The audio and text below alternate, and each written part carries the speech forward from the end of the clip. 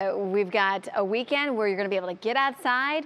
You're going to have points today where you're going to want to stay inside, maybe finish up on a project you started. And we've got the showers around right now to kind of prove that. Still some leftover sprinkles in the area. Nothing that's, you know, causing any big deal as far as heavy rain. It's really, really light. These are the leftovers that we talked about from yesterday. And, you know, at times yesterday we had those heavier downpours. It's just that area of low pressure over top of us.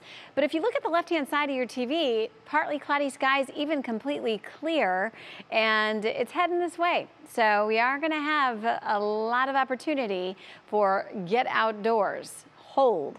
In the meantime, we take a look at your Friday, May 1st, welcome to it timeline. And notice by later today, we literally go from cloud cover to sunshine, but it's gonna take until close to dinner time to really see those bright, bright skies. So patience, patience, patience, please. And uh, we won't make it out of the 50s today. So it is gonna be cool. We're in the 40s right now all across Northeast Ohio. 65 is the normal high. 45 is the normal low. So we're really right where we should be as far as starting off the day. And winds are going to be anywhere from 10 to 20. So it is going to have that sort of cool, damp feel here initially.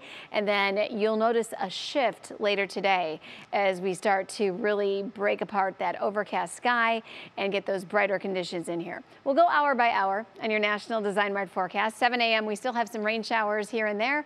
And you know what? Even into late morning and early afternoon. I'm not going to rule it out, but then by mid to late afternoon, here it comes. This is the view at 4 o'clock, and we are seeing some sunshine. And we'll continue to see a nice clear to partly cloudy sky heading into overnight tonight. Your Saturday, it's not going to be all blue skies. We'll have partly sunny conditions, at times more sun than others. But here's the catch. We are warming things up. And as we continue to move through tomorrow and into the afternoon, this is the view at 4 o'clock, and we are in the 60s to low 70s. That is going to feel great. And uh, you know what? Maybe you get outside and you work on some things uh, out there. And you know what? Just a lawn chair or a lounge chair of sorts in your yard.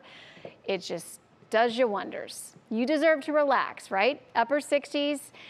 Rain chances tomorrow night. Sunday looks like more of a mix of clouds and sunshine, 70 degrees. Universal Windows Direct 7 days showing another cool down for Monday, but then we're right back into the 60s and then getting outside. Today, it's kind of iffy at first, but we transition from iffy to go for it because by this afternoon, although it will be a little cooler, Maureen, uh, will still be drier. So take advantage.